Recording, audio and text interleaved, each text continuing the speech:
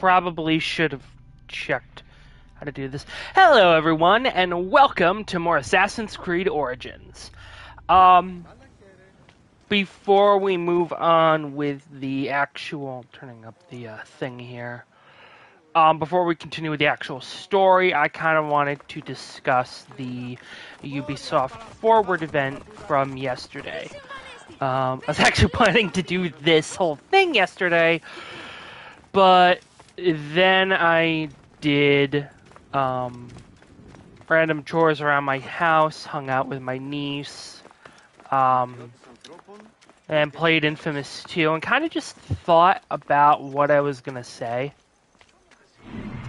So, Move! Now! Do it! What's wrong with you? I'm waiting for my horse! Come on, yours. Anyway, um, kind of getting back into what I was going to say. So I thought about the Ubisoft event because I was irritated that we didn't really get anything related to the Prince of Persia remake, which really kind of just continues to confirm for me. What's over here? Oh, I'm nowhere ready for that. Or it kind of just continues to confirm for me that um, the game is basically dead. And I know Ubisoft said, "Oh no, we're still working on it," you know, but I, I, I don't know. It the less information we get, the more anxious I get about it, and the more I start lowering my expectations. Because again, there was nothing wrong with the actual. Okay, good. The thing's not muted. I have to check that every now and again. There was nothing wrong with the game itself. In fact, the game was perfectly fine looking. All we got was an announcement trailer. And people decided to rip it another, or rip it a new one, all because it didn't look like the same level of quality or the same graphical quality as Assassin's Creed Valhalla. Um, which that was more in terms of its art style. And I think the people reason that people thought, oh, you know, it looks like a PS3 game, you know, is because it used the same cell shading graphics from the last Prince of Persia game, or the same cell shading style from the last Prince of Persia game, The Forgotten Sands. Which again, I think totally works for that, you know? But you know, I just it's fucking graphic snobs that piss me off because we could have gotten this game, I could have played it, I could have streamed it, I could have had all sorts of fun with it, but now I don't even know if it's actually going to come out, you know? Like, the Ubisoft Forward wasn't just an Assassin's Creed event, they also at the beginning discussed a lot of other stuff. Nothing about Assassin's Creed, not even like an update saying, like, oh, hey, you know, it's still in development um, we're just kind of, you know, trying to not even explanation as to what actually happened, you know? Because if it was just a pandemic, and, and I tell people this, I, I tell people this when I get on this topic. If it was just a pandemic, one, we would have had it by now. Two, they wouldn't have needed to change studios. That's the thing that really, really scares me and really make, you know, pisses me off, you know? And why I I don't blame Ubisoft. I don't blame Ubisoft. I figured that after Cyberpunk, they were going to delay the game. After the whole debacle that was Cyberpunk 2077, they would be crazy not to have del- delayed it at least a little bit. You know? Oh, hey, I think that's a Jewish star. Um, So if it were just like a couple delays out to like a certain, I, I feel like if it were just because of the Corona pandemic, you know, if it was because of COVID, we would have gotten it by now. by this year. It probably would be coming out or would have come out in the summer, so as not to like correlate with the release of Sonic Frontiers, God of War, and Pokemon. You know? But we would have gotten it by now. But no, the fact that they delayed it indefinitely and then changed studios implies that this is more than just concerns over quality due to COVID 19. And I, I, I feel like I've ranted about this a hundred times. My concern is that it's. Oh, it was a syna- Oh, I was at a synagogue. Okay. Um, my concern is that it's probably with the graphical or, or whatever changes they're making to shut up the graphic snobs and appease them. The game is going to definitely cost more. They're going to put it up to that $60, $70 price range that other games are going, and it'll probably be like the same quality as, you know, other games coming out, but you know, it never really needed to. It, it never needed to. It doesn't need to look like this. It doesn't need to look like Assassin's Creed, you know, especially for a remake of a.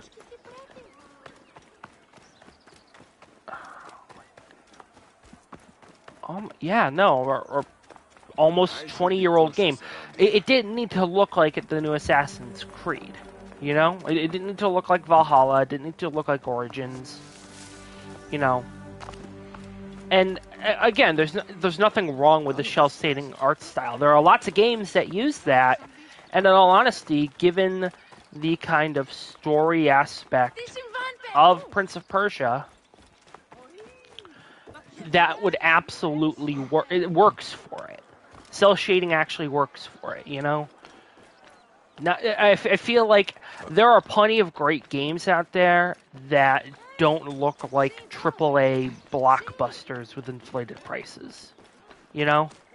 There are plenty of games out there that look great without being, or look and play great without being, you know, hyper realistic. And again, we, we, we only ever got an announcement trailer. We only ever got an announcement trailer, yet every yet all the graphic snobs hopped into the comments to shit on the game, and then um.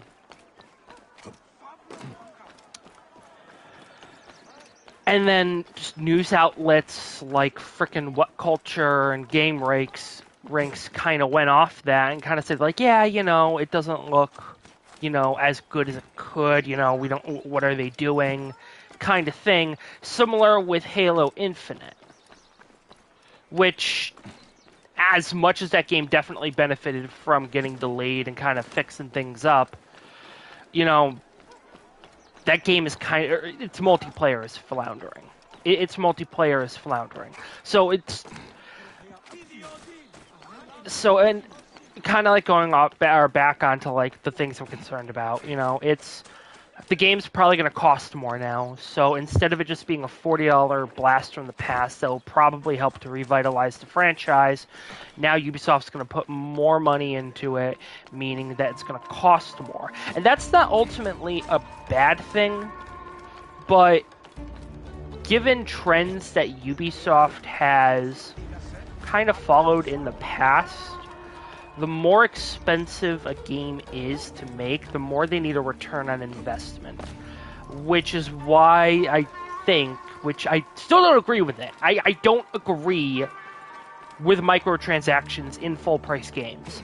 But I'm, pr- I'm pretty sure it's the reason why the business side has said we need to like you know put in microtransactions you know the helix credits blah blah blah so and then that's the other thing that i'm really worried about is that the game is going to get you know gonna have to have all these like microtransactions in it, and um, in order to kind of give Ubisoft that return on investment um, that they're gonna need from a game of what is probably now this magnitude, this price. And don't sit there and think, oh, they're not going to throw in microtransactions just because the game's more expensive. where is it? This game came out what 2000 something. I actually don't remember what year this game came out, but it was. It's literally got a freaking in-app purchase store. You spend money, you get you give Helix credits, and you can buy all these different cosmetic and weapons packs. Like the wacky pack, which this would all just kind of just be stuff you could get in game. But normally, if it were a normal video game, but we don't live in a world with just normal video games anymore. Now everything has to get microtransaction to hell.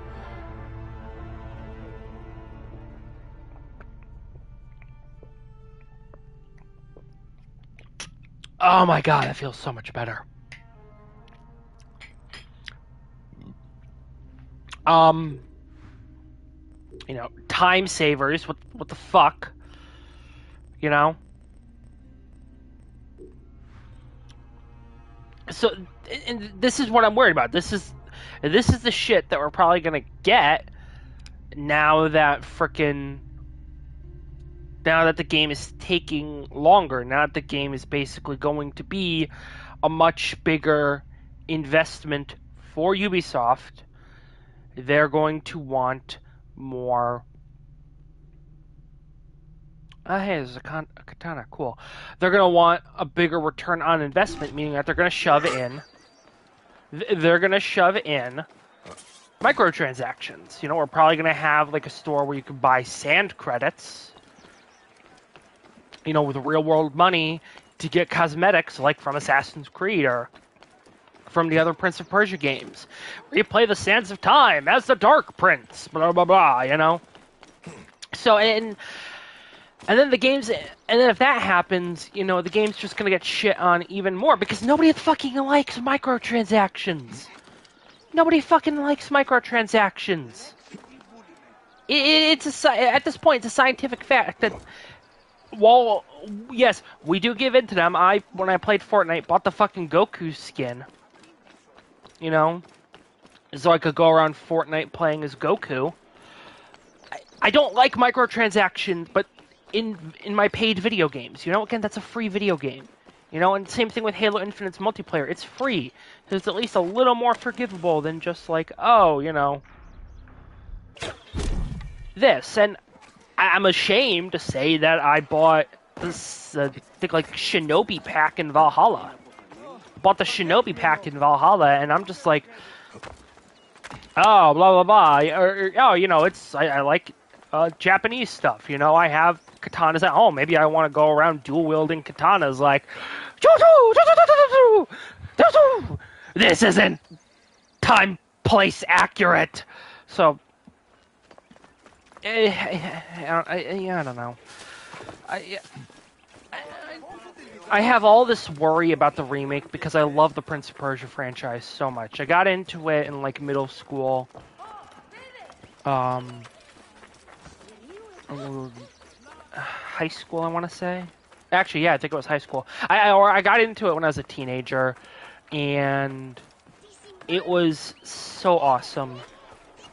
And you know, I, I just I want the game, or I want the remake to be good but good does not mean hyper realistic or pretty in my eyes because I if y'all remember like I went out of my way to get the remake uh, or or the re-release of Corpse Party on Switch. I went and set up a whole Japanese eShop just to get that and then like a few days later turns out that it was coming West Side anyway. But then I bought that the English version on PS4 to support, um, you know, XSEED because, you know, it, absolutely, you know, I'm not getting to that. That just so, uh, uh, but a game doesn't need to look absolutely fucking hyper realistic, amazing to be an amazing game. You know, I mean, and I feel like Corpse Party is a good example of that.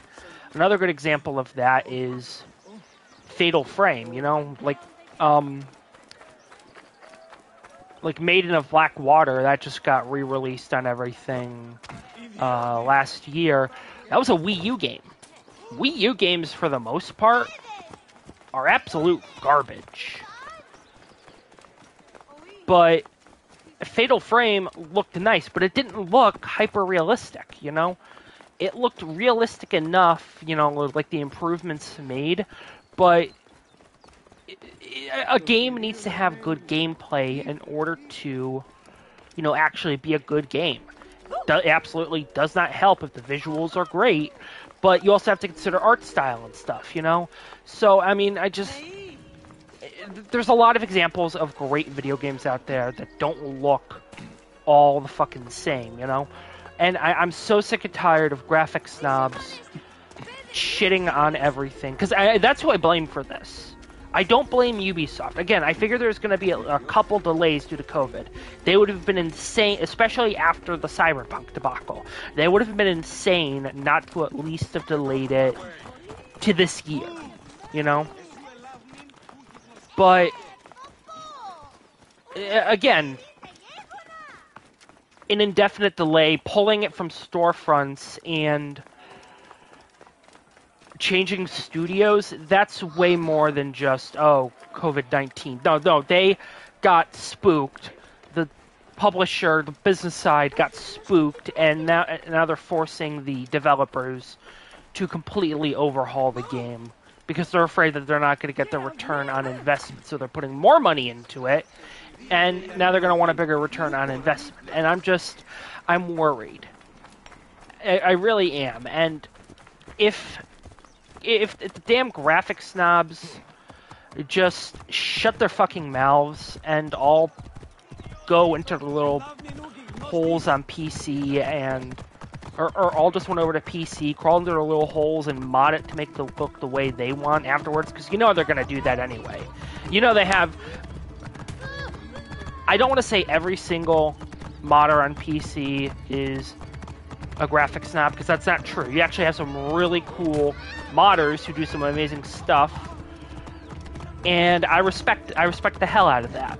You know, I really do. If I could actually put up with PC gaming, I would use the hell out of mods like throwing Kermit the Frog into Spider-Man Remastered, or again going back to Spider-Man Remastered, Ezio Auditore um, because those are mods, and uh, some mods on PC do get nuts, and it, that's cool. That that's what I respect. But then you get the modders who are like, "Oh, I think I can make this game look better," you know, because I don't like the way that it looks. I don't care what, how much time they put into it. You know, I'm gonna make this, you know, game that just came out is probably gonna get like patched to fix any issues, you know, or whatever. I'm I'm gonna try and make it look better, you know because or I'm to try and change the art style because I don't respect what developers do. You know, it, it, so you know that there's to be that subset of modder who's to do that, and if, if, people were really upset with the way the remake looked, because the game was it was coming out on PC, they could have just gone over to PC and built some kind of mod to make it look hyper realistic. Then they go go back to sucking their dicks and enjoying freaking, you know, their their own self hatred. You know. I went the hell out of my way to get the original three Prince of Persia games for PS2, kind of going off my hatred for graphics snobs, and I'm pretty sure that whole trip down to like the like the remote part of the state I live in, because that was the only store that had the games, uh, or like the first game, or what I thought was going to be the PS3 uh, remasters, but they didn't, so I had to get the PS2 ones, which I have a PS2, so that's not. But I went all the way out of my way and like on this big journey to Meriden, or like near Meriden, and I ended up taking a bus, an Uber, and stopping at a mall, and then take um, or I ended up taking an Uber to the store, and then I took another Uber to the mall so I could try and catch the bus home. But the bus stopped at a weird place, and I missed my tr- uh, transit, so I had to take another, another, um, uh, frick, frick, frick, frick, frick, frick, frick, frick, frick, another Uber home, and I'm pretty sure somewhere along the way I got COVID. So I blame graphic snobs for that. But that's also partially because I um because I got COVID, I had to go into quarantine, and I ended up like ruining my family's um um Fourth of July plans. And nobody blames me, but uh, you know I just still I I feel like I would not have gotten COVID if I hadn't gone on that little odyssey just to get three freaking video games, you know. So I blame graphic snobs for that. So I, I don't know. It's just I, think if people started to like, yes, if, if a game actually needs to be fixed and developers are doing jack shit, I absolutely support modders stepping in and flexing their muscles, saying, "Oh, well, if you're not going to do it, I guess it's up to me. You know, fine, I'll do it myself." You know, that kind of Thanos spirit. But I, I, th- I feel like I feel like there are people in the gaming community who need to respect art style. They need to learn to respect art style, and it's a shame that they don't. You know, like, and I feel like if they did, you know, I feel like the gaming community wouldn't be as toxic. It, probably just a smidgen less toxic, not a lot, because you know you have people who are like homophobes editing out pride flags to try and throw in extra American flags, even though the Spider-Man remaster had American flags. You know, that's an that's just hateful people having too much power. That's I, I- don't equate graphic snobs to the people who tried to remove the pride or who made the mod to remove the pride flags from Spider-Man remaster. Um, to throw in extra American flags. That's I, I, I don't equate it to. I, th- those aren't graphic snobs. Granted, a few graphic snobs may also be homophobes, but that's that's an entirely separate issue. But I, I, I don't know. I, I just the only thing Prince of Persia that got announced, and this is kind of me transitioning after 20 or so minutes ranting about this. I'm going to clip this and share it, by the way. Uh, crazy guy rants about Prince of Persia for 20 minutes.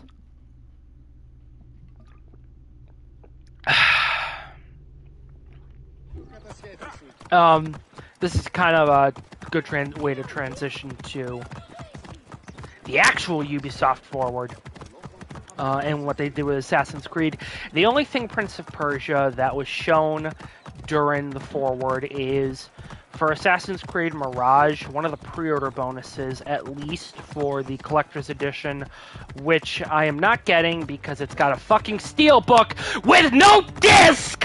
What the?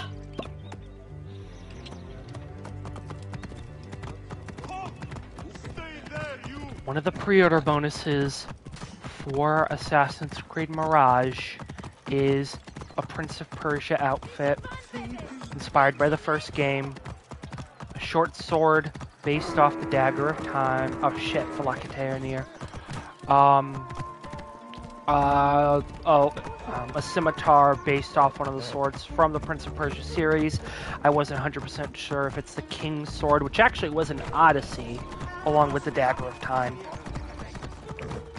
Um, or if it was one of the swords from the first game. And then a skin for, I'm guessing, your Eagle Companion and. Crap. Um, or for your Eagle Companion and your mount that make it look.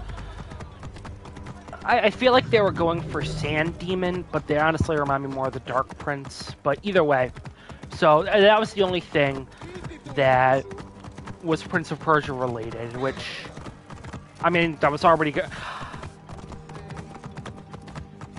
Despite my gripes with Odyssey and Valhalla, I do, I am going to be definitely like Mirage actually looks like a return to form, which again, going back to um, the actual Ubisoft Forward now, um, or going to the actual Ubisoft Forward, the Assassin's Creed event. Um, Assassin's Creed Mirage appears to be a game that is essentially um,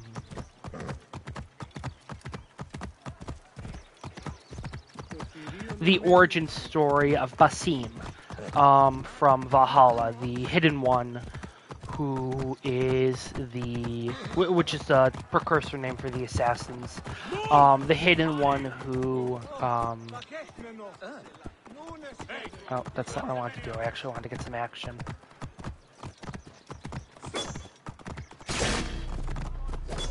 You will pay, corpse.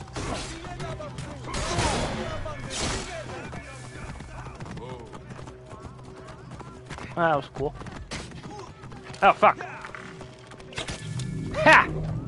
Anyway, um, the uh, er, uh, Mirage, which was leaked a few days before the event, and then had to be announced a few days before the event. Mirage is basically an origin story for Basim, the hidden one, one of the hidden one contacts from uh, Valhalla, and you, um, it's basically showing his rise from a I um for lack of a better term, a street rat in Baghdad to a master assassin um, in the Hidden Ones. And because like the open the trailer didn't just show like his training and him like being rescued by a hidden one, it also showed his basically initiation ceremony where um, through his own hands to show his own commitment, he amputates his ring finger. Um,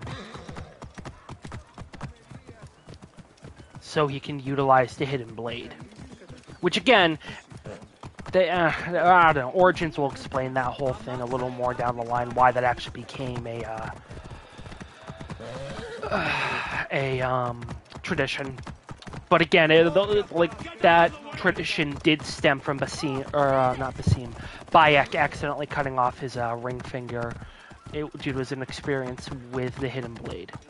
Um, so that was the um, that, that was Odyssey, or not Odyssey, that was Assassin's Creed Mirage. So that one is going to be kind of a uh, um, an origin story, which comes out next year. I'm hoping not in the holiday period. Like I'm hoping that that's like a spring release, or maybe a January release. I don't know. Um, we also got some more information about Valhalla's DLC. They have one more little thing because you know they just had Dawn of Ragnarok and the I, I'm not I've never played a roguelike game, but Da- uh, Dawn of Ragnarok and then the roguelike expansion like the Trials of Sutur or something. I don't know. Um, again, I I I, I have I didn't actually look that much into it, but I haven't picked up Dawn of Ragnarok because that was like half the price of the game, and you know I'm just like, you know, maybe wait for it to go on sale, and now it's on sale, so I'm just kind of wait, um, trying to get the guts to pull that trigger. um, so that was that one. Um,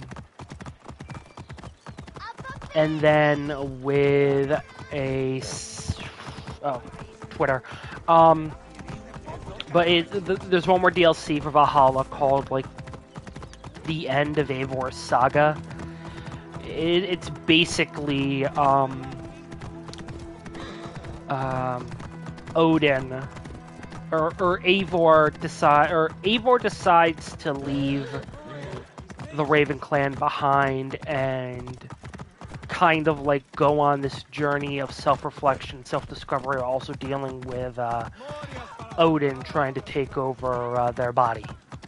Um, so that is that's interesting. Um, but moving on, or but yeah, so that's the last expansion, and then I think at some point through, again, the in-app purchase store is supposed to get an Iron Man inspired armor. I don't know if that's come out yet. After the stream, I'm gonna pop into Valhalla to see if it's already come out. I don't know. They haven't announced anything, but anyway, um, but that was like for data miners and leaks and whatnot. So anyway, but um, kind of returning or so so Valhalla, that's the last thing. That's the next Assassin's Creed coming out this uh, thing coming out this year, and then Mirage is sometime in 2023, and then um, down the road. Um, they've got some other stuff coming out, like a Netflix TV series, I think a documentary, um, some of uh, Assassin's or the Assassin's Creed Symphony, um, and then they also said that they have a mobile game coming out uh, called Assassin's Creed Codename Jade Empire, which takes place in China. Um, and I think, given the the current name um,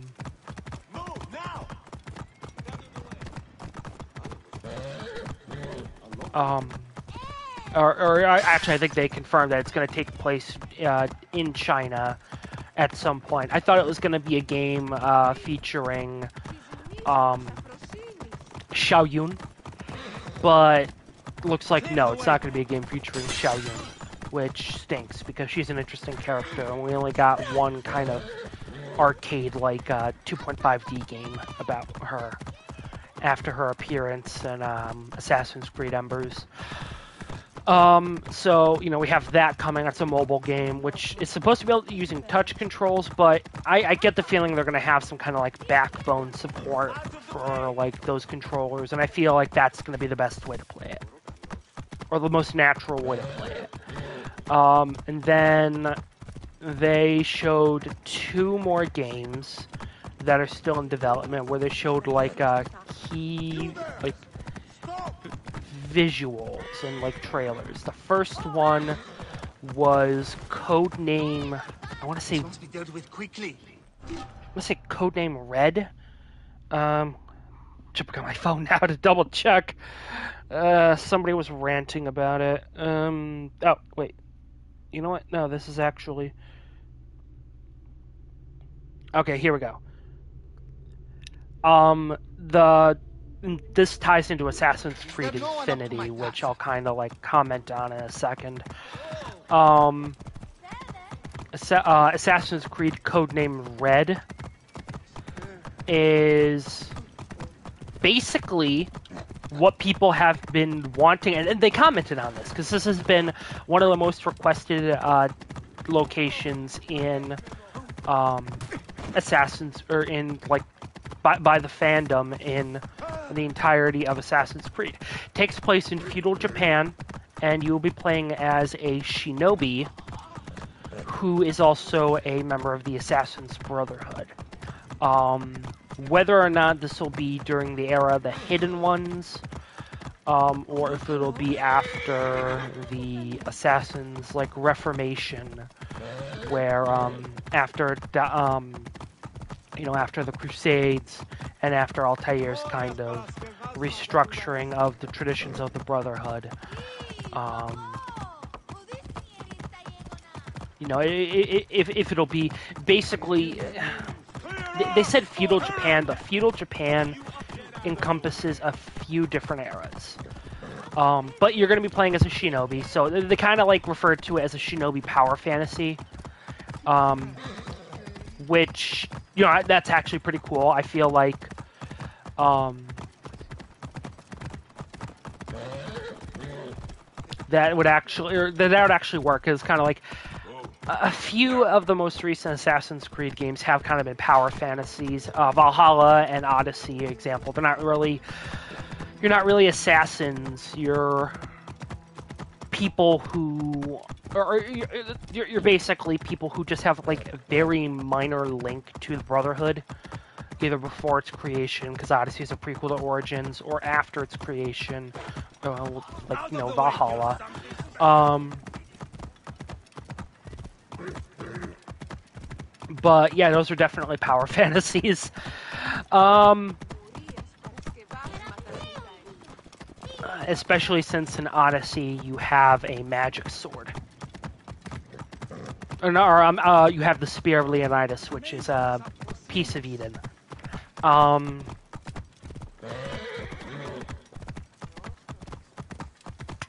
oh my god. So, but yeah, so that's coming sometime after Mirage.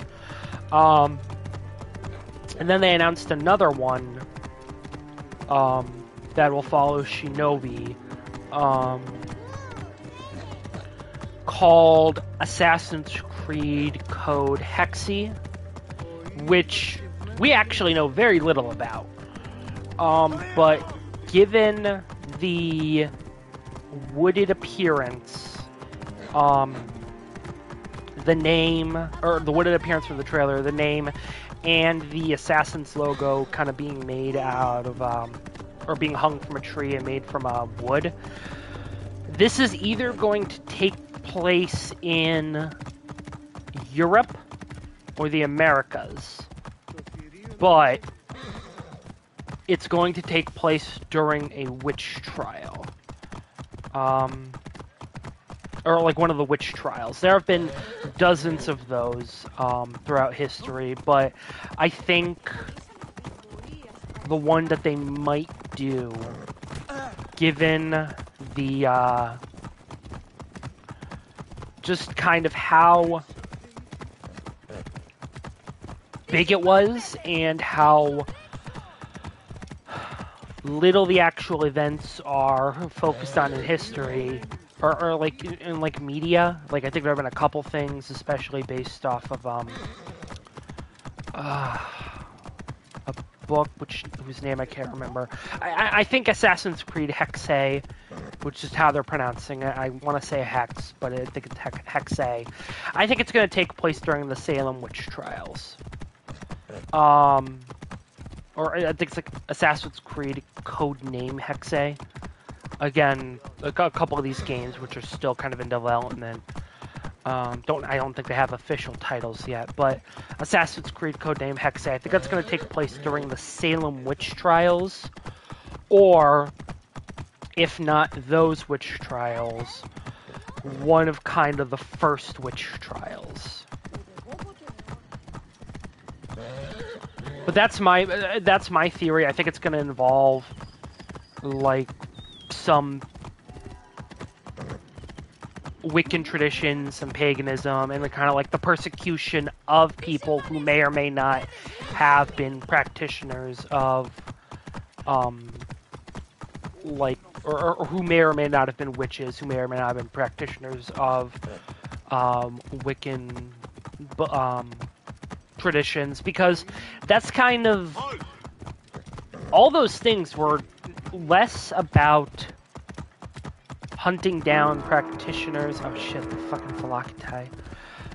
Those trials were less about, um,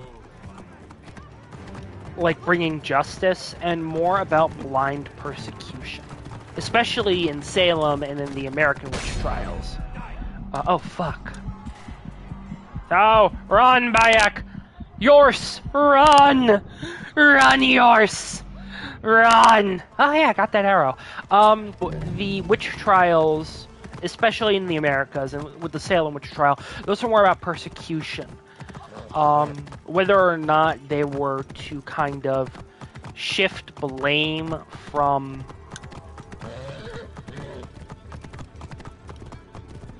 young women who may or may not have, or who might or might not have been acting out, um, and just kind of like going wild um, during our time. You know, if it was like persecution of political or anti-religious rivals, or people who just stood against, you know, the way the witch trials were being conducted, it, it was mainly persecution and actually the most famous thing concerning the Salem witch trials, is the name that I can't remember, um, was written by someone who became a pariah and got blacklisted during. Um, oh my fucking god! I can't remember that.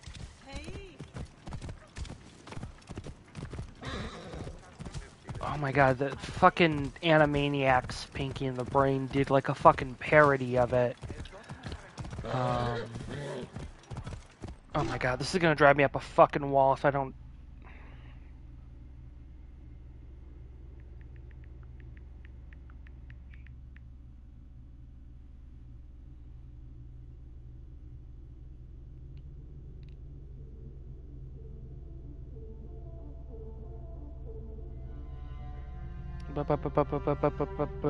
Literature, media, and pop culture.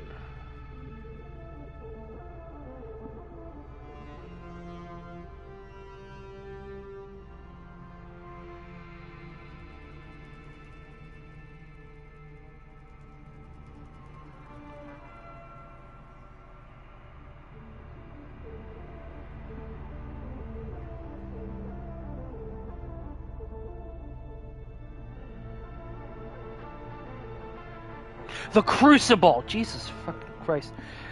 The Crucible by, is what I'm thinking of by Arthur Miller. Um,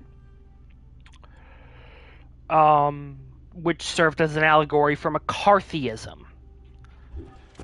Um, so I mean, there have been plenty of like the fucking Wikipedia article I pulled up.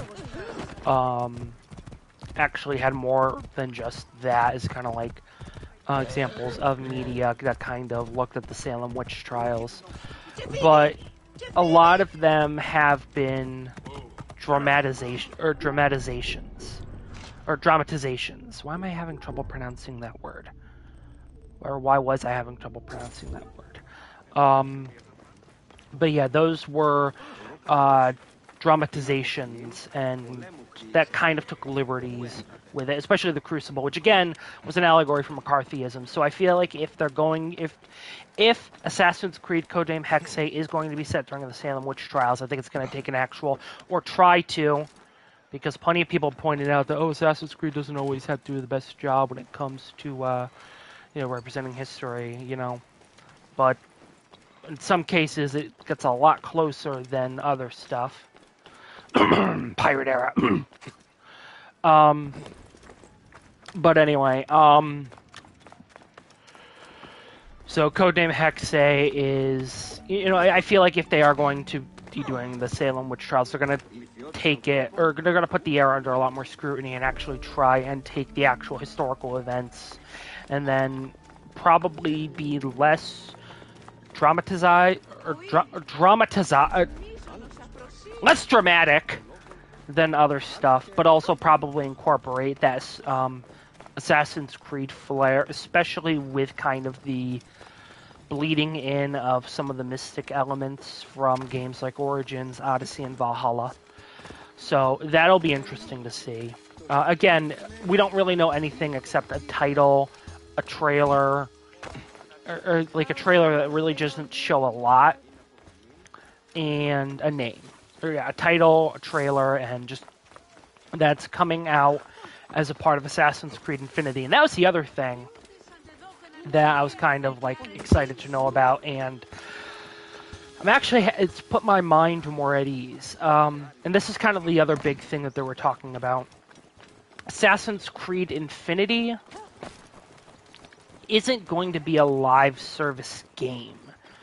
Um, well, yes, they'll kind of like, or well, yes, uh, Assassin's Creed, um, codenamed uh, Red and codename Hexe are going to be kind of under Infinity's uh, wheelhouse. From the way that they were putting it, and we'll probably see more of this in the future as we get closer to Assassin's Creed Infinity becoming a thing, it's less of a live service game like Fortnite, Apex Legends, or PUBG, and more of just a live service in general. Um, now they did say that they were looking into bringing back multiplayer as a part of Infinity, but it sounds more like Infinity is going to be like, I think for lack of a better term, like a social media that will kind of allow people to play together um, more seamlessly um, and carry across or and like you know basically interact with the franchise in ways they haven't before. Um, like again, I, I like the way that they were talking about it. I thought, oh, so it's going to be an Assassin's Creed social media. You know, that's kind of that's where my brain went with it, and you know, if it's really not going to like like probably will have microtransactions, but if it's not actually going to affect the production of games and it's more of just like a connectivity service, I say, you know what? go go for it. Just don't let the games that you make in the future suffer because of Infinity. That's all I would say about that. And hopefully, hopefully, you know, or Twitter, you know, hopefully they will kind of have a good balance between, you know, um, what we expect from the franchise and or what we expect from the franchise as a whole and what they kind of want to achieve with Infinity.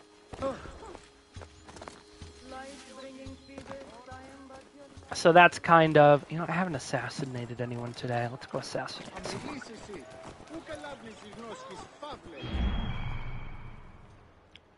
I'm kind of hoping that as we get closer to it, they'll explain more. And with all the games that kind of have just code names right now,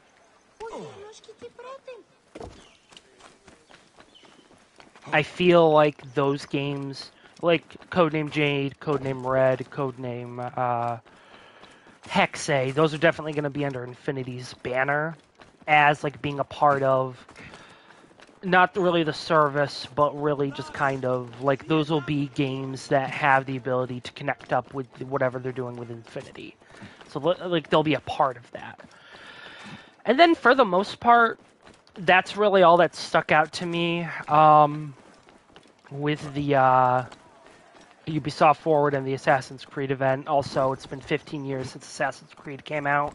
Nothing really mentioned. I feel like if they were going to do a remake of Assassin's Creed 1, that would have been the time to do it or bring it up, but doesn't look like they're doing that. And, you know, as. as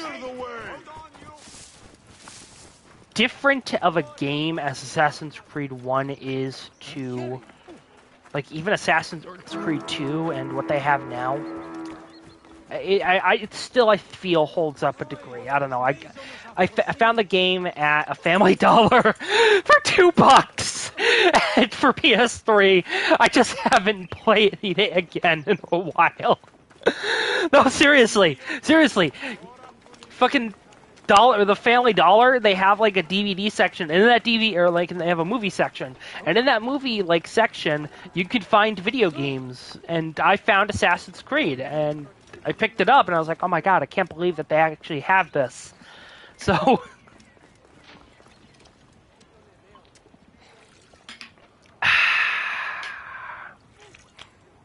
okay. Um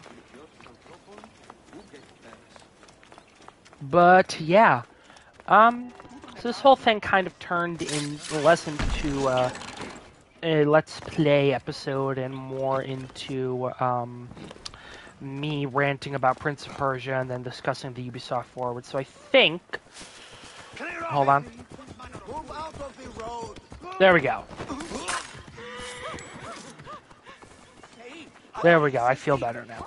I think I'm gonna wrap it up here. Take a break. Um, rest my uh, trigger finger because I've been using it to try and run this whole time. Just out of force of habit. Um, and then uh, I will a little later um, play or, or do another Origins stream. But until then, I hope you all have a very good day.